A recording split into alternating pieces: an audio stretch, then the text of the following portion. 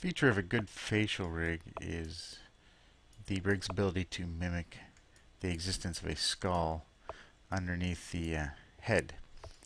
So I'm going to talk today about how we can do that using a NURBS surface um, to drive the translate and rotate values of this joint. Um, we could, of course, you know, do the set-driven key approach where we set a, uh, a key here and a key here uh, to indicate the up and, and the lowering and raising of the brow. But we'll get a very linear motion from that. It's going to cut through the head.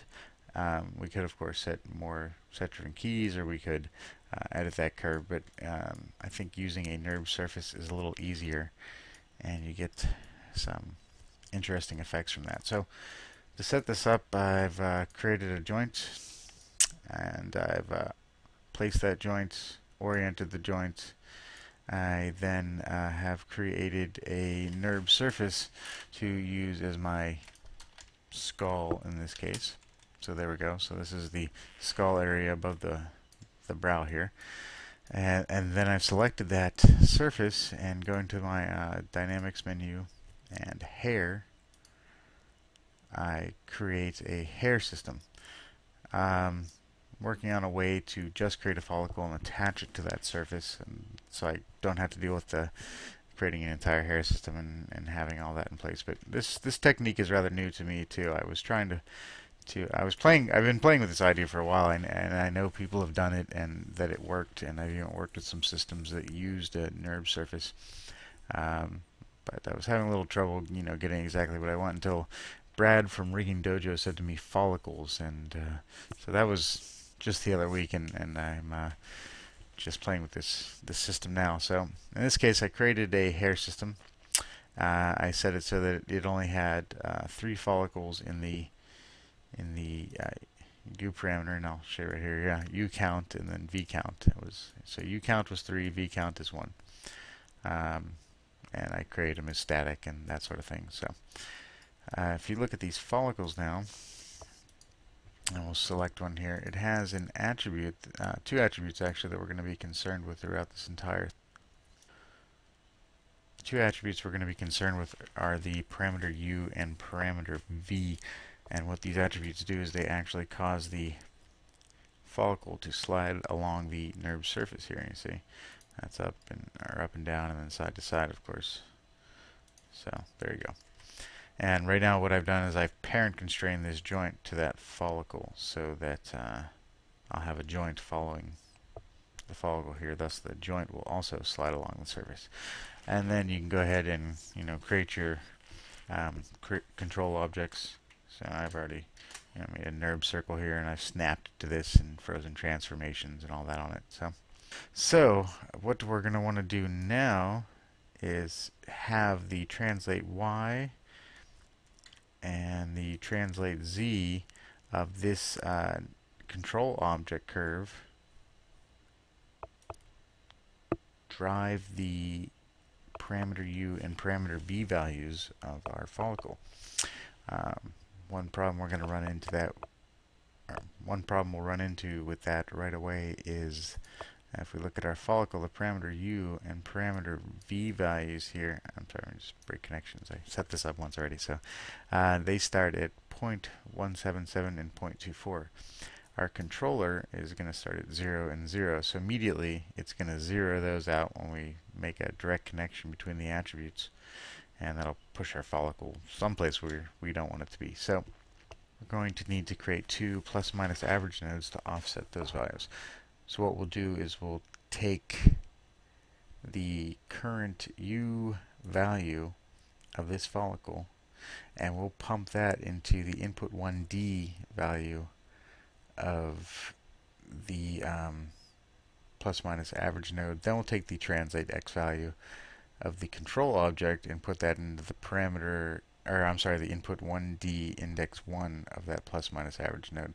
And what that's going to do is then subtract uh, that def that default position, that default u value from uh, 0 to start with. So we'll end up with exactly the uh, the position we want. So this is a lot of connecting of attributes, and honestly, I, I don't like doing that very much, so I went ahead and scripted this out, and I think it makes it a little easier to walk through the steps as well. So here I'm using Python scripts, so I had to import the uh, Maya um, uh, Python implementation, and I import Maya commands as commands to do that. So uh, then what I'm going to do is uh, create a couple of variables. Uh, one is going to hold the U, U uh, parameter of the uh, NURBS follicle shape and then the other one is going to hold the V parameter of the NURBS follicle shape.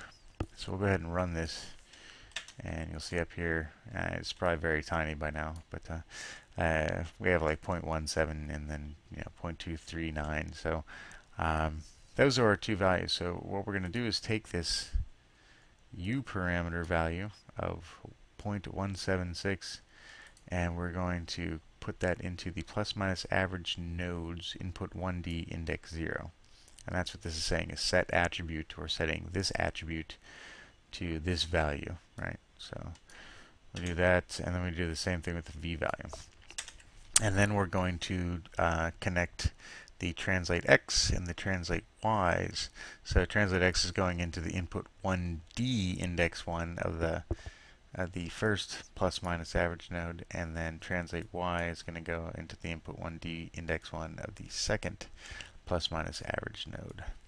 So we go ahead and connect our adders up. And then uh, the last thing we're going to want to do is take the outputs of those plus minus average nodes and crank them back into the parameter u and parameter v of the follicle.